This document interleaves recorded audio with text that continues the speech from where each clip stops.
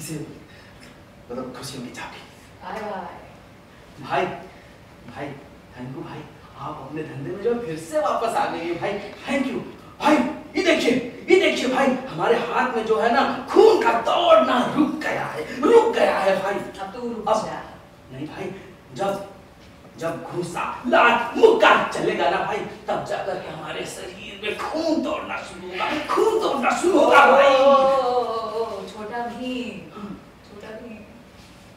एक मिनट काम समझ में आ गया हाँ अब तो काम खत्म करने के बाद मैसेज करो ठीक है हाँ हाँ करते हैं मैसेज।